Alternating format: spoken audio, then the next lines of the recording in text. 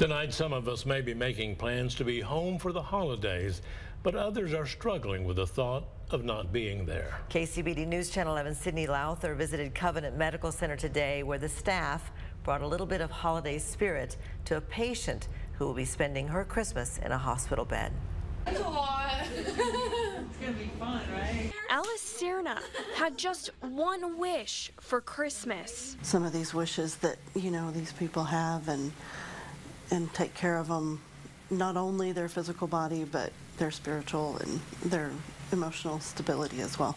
Alice has been a patient at Covenant for more than a month on assistant nurse manager Barbara Parker's floor and has not had the easiest year. She's had a hard struggle with her health. Um, she recently lost her husband prior to coming into the hospital. Now, Alice is spending the holidays in a place she can't call home. But the Covenant nursing staff was determined to make her stay special. They were just, you know, small talk waiting for time to pass, and she mentioned that um, she would really, for the holidays, like to have her room filled with Christmas flowers. The nursing staff turned in to Santa's workshop. After many emails and calls, they pulled the money together and made a Christmas wish come true. Oh my God, yes. Look everywhere. Oh my God, yes.